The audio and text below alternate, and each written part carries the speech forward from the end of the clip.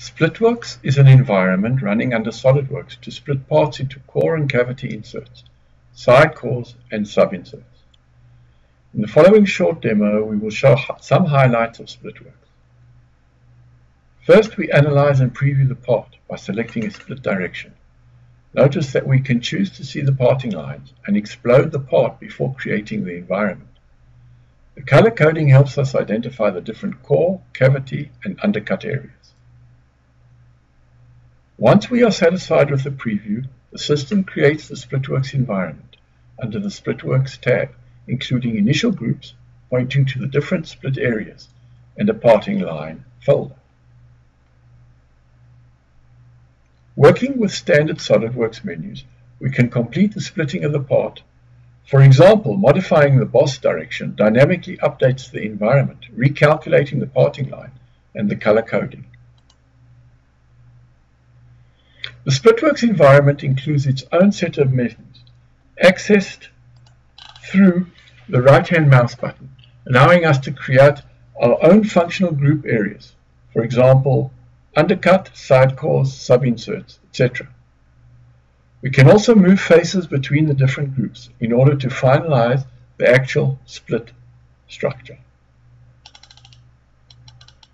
After creating the cavity surface from the cavity folder, we use a SplitWorks menu to automatically plug the holes in the surface.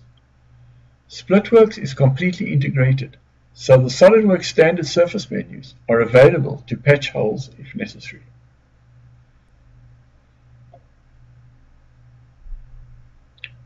SOLIDWORKS surface menus can also be used to complete the parting surface.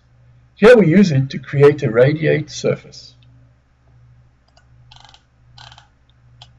SplitWorks includes a specific loft function for creating parting surfaces, which uses SOLIDWORKS surface menus to pull out complex edges along a vector.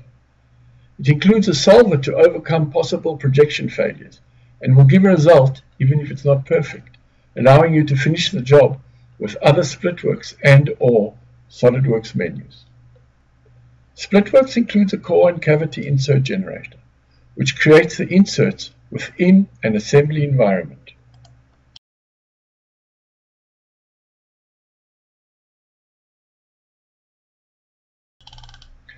We use SplitWorks to create the side cores for this part by knitting the side core group folders into surfaces, filling in holes, and then creating solid side cores from these surfaces.